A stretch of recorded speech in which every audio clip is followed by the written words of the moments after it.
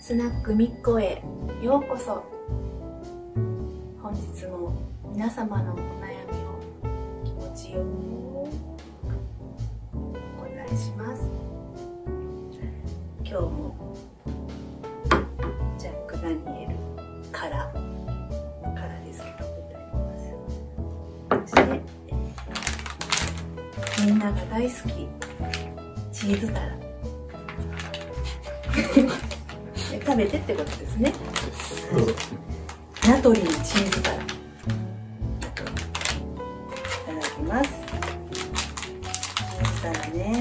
ねチーズタラ皆さんお家にあるかしら？私ね必ずお家にあるのはうーんとスルメ？あのコンビニでスルメ売ってるじゃないこの100円のやつ。あれ好き。ちょちょっとずつ食べてマヨネーズとね小鉢にマヨネーズとちょっと七味垂らしてそれでこれでいただく。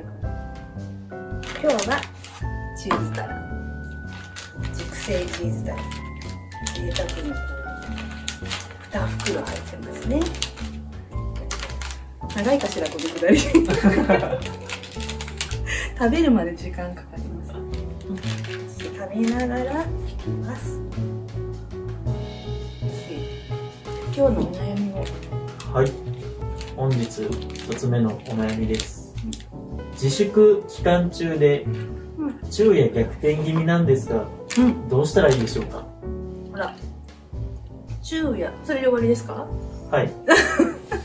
ペンネームなしですか？ペンネームないです。ないですね。七志さん昼夜逆転しちゃう。うん。わかります。ねあの七志さんがおいくつなのかちょっとわからないのでちょっとねそこのお答えもね変わってきたりするんですけどと20代かな？30代かな？わからないんですけど。あのね年取るとねできなくなるの。そういうの。夜になるとね眠くなって朝早く起きちゃうの。だからいいんじゃないですか？今の。あのでも普通の生活に戻したいんであれば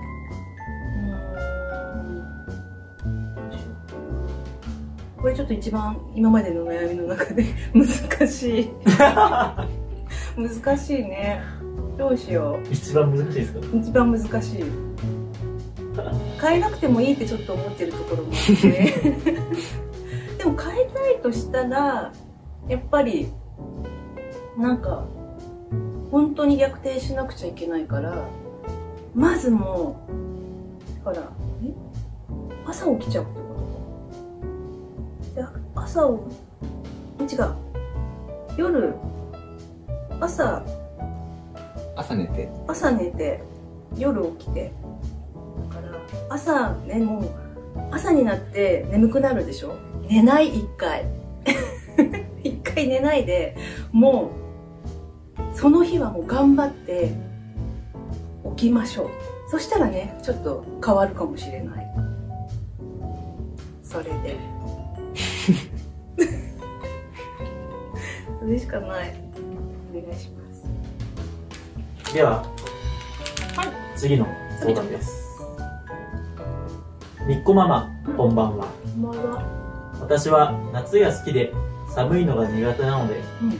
今からもうすぐ夏が終わって秋が来て寒くなってしまうと怯えています。うん。北海道出身のみっこママ、はい。寒くなる前に寒さを乗り切る秘訣を教えてください。うん。ちなみに、以前、うん。名付けてもらったうん。電動アシスト、あ電動アシス 電動アシスト自転車、芦田さんははい。黒です。え黒？黒い色だったの？黒い色らしいです。あら芦田さん黒かったの？赤かと思ったわ。そっか。えっ、とえっ、と芦田さんのねチャリの方ですね。えー、質問が何だったっけ？芦田さんの方に行っちゃった。えー質問は、えーと寒くなる前にあ。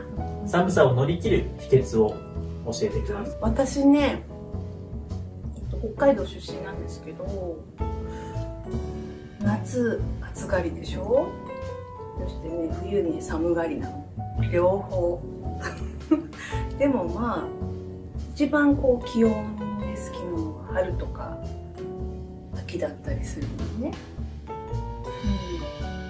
うん、だけどもういっぱい着込んでね冬はねあったかくしてねあの団子みたいになっちゃったらいいんじゃないですかね。そしたらあのあったかいし。東京の方がねあの冬は寒いんですよね。北海道の家は二重サッシだったりとかして部屋の中が私のね実家のお家もね床暖だったりとかしてあったかいんですよ。でもやっぱりこっちの方がね部屋の中寒いんで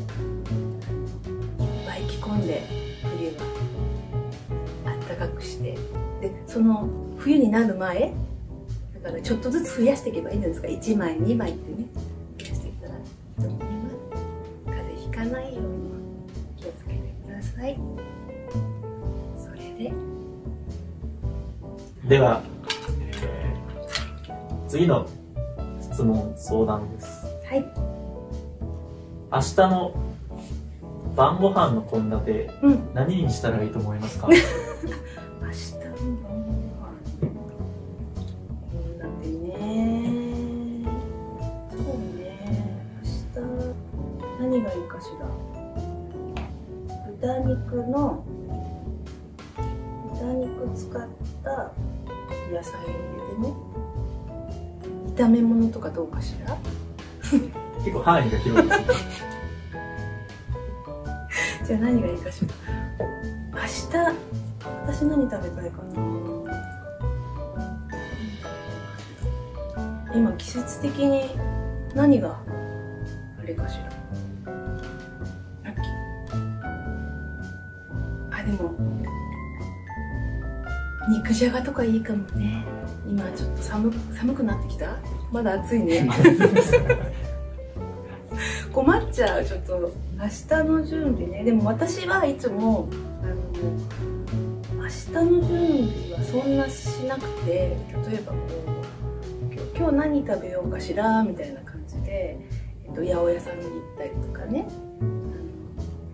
私の近くの八百屋さんはお肉も売ってたりとかするのだからそこで、えっと、お肉とお野菜安いの買ってりするから皆さんもあのぜひ八百屋に行ってね美味しい旬の野菜とお肉を買って帰って食べていただけたらいいかなと思います。旬のものがいいと思います。それ。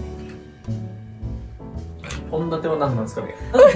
で献立はなし。献立はなし。献立はないということで、うん。ありがとうございます。なしスナックみっこに来ていただきましてありがとうございます。こちらのコーナーでは皆様のお悩みみっこが気持ちよくお願いしますのでたくさん